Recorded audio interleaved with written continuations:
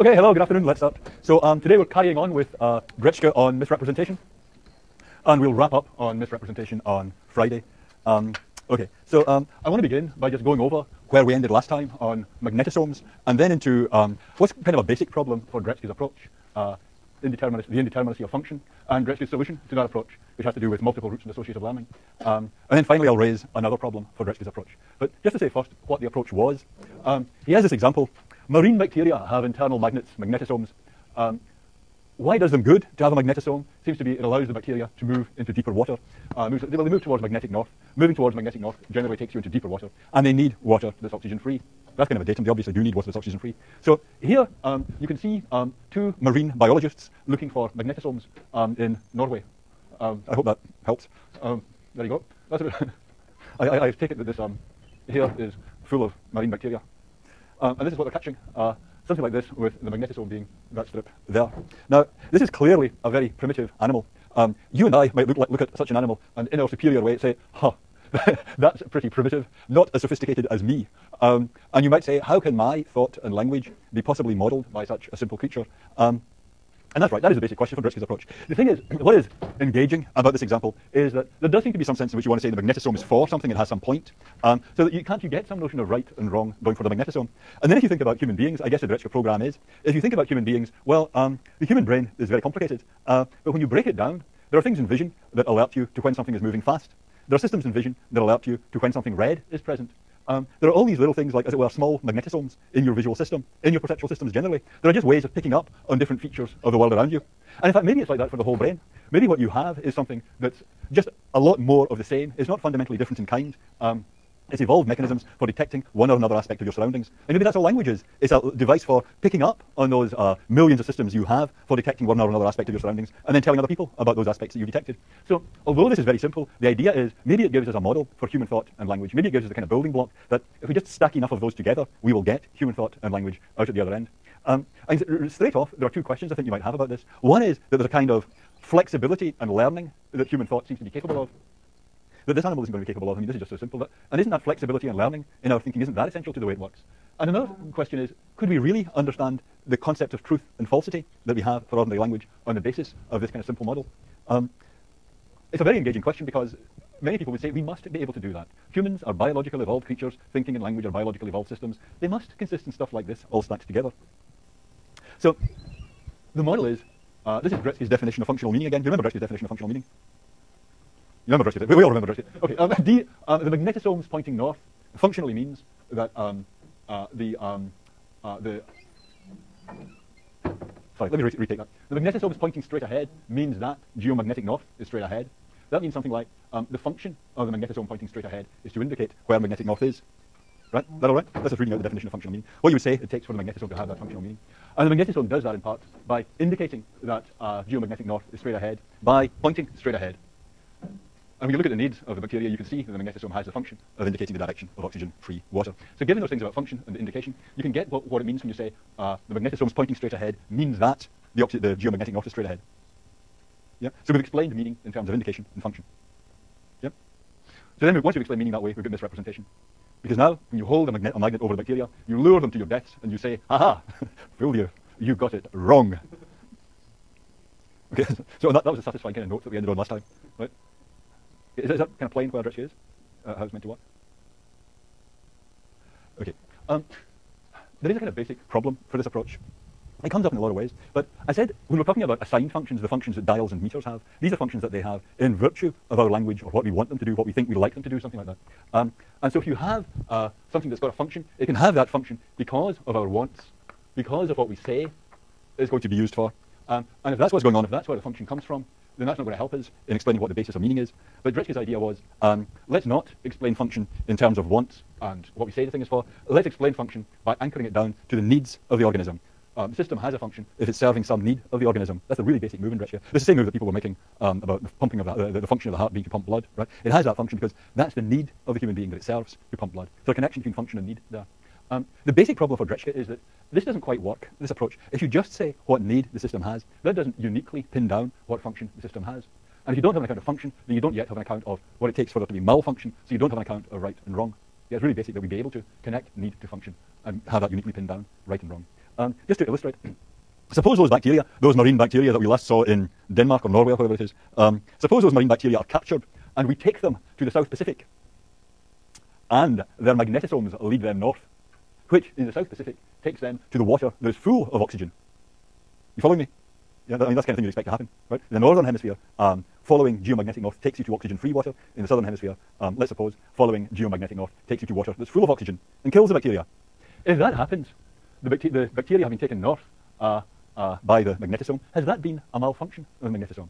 We know what need the magnetosome is serving, but, but has the magnetosome malfunctioned there? Did the bacterium get it wrong in that case? Can you put up your hand if your hunch is the bacterium got it wrong?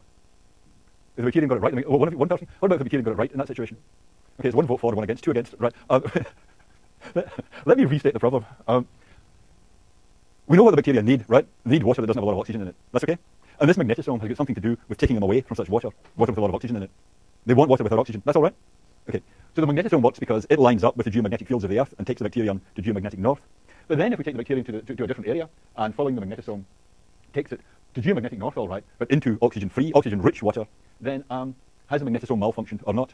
Can you put your hand up if you think the answer is yes, it's malfunctioned?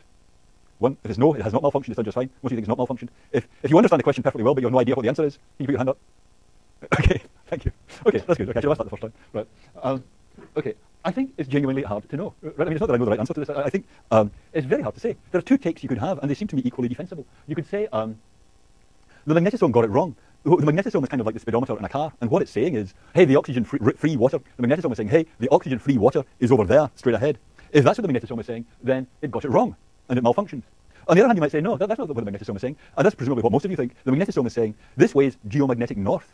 And um, the bacterium is saying, ah, so that way is geomagnetic north, is it? Well, since geomagnetic north is where the oxygen-free water is, I'll go over there to my death. Um, so all that went wrong in that reading is the magnetosome worked fine, but the bacterium just uh, uh, went wrong because the functioning of the bacterium usually depends on this contingency that the oxygen-free water is to the north. Um, so there are, the things there are these two different readings you could have as to what the function of the magnetosome is. You could say the function of the magnetosome is to indicate the direction of oxygen-free water, or you could say the function of the magnetosome is to indicate geomagnetic north. And just saying function is tied to need doesn't let you answer that question. Because although you know the need is to get oxygen-free water, and you know that the magnetosome is helping um, discharge that need, there are two different ways you could say it's doing that. You could say the organism is doing it either by indicating where the oxygen-free water is directly, or you could say, no, no, the magnetosome fulfills that need by telling the organism where geomagnetic north is. Um, and uh, since geomagnetic north is correlated with oxygen-free water, um, that's, what the, that, that's how the need is being served by the system. And you can't really, it seems to me there's no way of differentiating the two. I mean, either way, the system, the magnetosome, is serving that need, but it could be serving that need by having either of two quite different functions. So tying function to need does not let you uniquely specify what function the thing has. Yep. Um, in the first case, yeah. is it possible for it to be malfunction? I mean, if the mechanism is just kind of like a physical magnet, it's just right. right. with, wherever it is. That's right, yeah. Yeah, how could it ever get things wrong? Yeah, well, remember the evil scientist with the bar magnet, right? You know, when you, right? When you I mean, some people kick the dog, you know, I, I, I um, maltreat bacteria. Um, that, that, yeah, uh, so you lean over and you do that. Then it's getting it wrong about where geomagnetic north is. but then I think we would say that A is actually not to indicate geomagnetic, geomagnetic north, but indicate the nearest, strongest, uh, to go towards uh, a certain polarity, which in that case we would just see the opposing magnet. Its function, so you might, you might even say its function is not to indicate geomagnetic north. Its function is not to indicate where the oxygen-free water is. Its function is to indicate local magnetic north. And the way it works is that local magnetic north usually lines up with geomagnetic north, which usually lines up with where the oxygen-free water is, which is why that helps the animal. But, it, but there, now there are three different candidates for the function of the system. Yeah, and you've got that last function to indicate local magnetic north. Then it's hard to see how the system could be making a mistake. Th- That's the point. Yeah, I guess where, where's the, um, where's the line that we're drawing is to, um, Yeah. so that you can understand uh, geomagnetic, geomagnetic north in terms of NKG or also in the way you just explained where it's to, to, to uh, indicate uh, local magnetic north, which usually then you can understand it both A or B. That makes sense. Yeah. And where, is where we draw the line of sort of like, something that can only be indicate G. That's right. Yeah, and, and we're losing the idea that there's such a thing as getting it wrong here. That was where you began. Right? Because whatever it does, you say, well, what's the point to do that? Yeah. and now we don't know what, what it means as getting things wrong. So we're even losing where right and wrong come from. So there are two problems. Right? One is it's indeterminate what the function is, just given a specification of the need. And the second problem is we now don't know what right or wrong are anyway. Yeah. Um, so that was your point, right? Um, you could say the function of the magnetosome is to indicate local magnetic north, and um, then you could say, even in the case in which I think this is like the bacterium's revenge, right? You say you didn't fool me. I was only thinking that local magnetic north was over there, and I was right, right? You, see what I mean? Yeah. So this is the bacterium's revenge. Um, and the problem is not any mistake the bacterium made. The problem is just that um, in its actions, it usually relies on that correlation between local magnetic north and oxygenated water, and that correlation just broke down. But that wasn't a mistake it made. It was still getting it right. Yeah. So sucks to the human intelligence. Yeah. Yeah. yeah.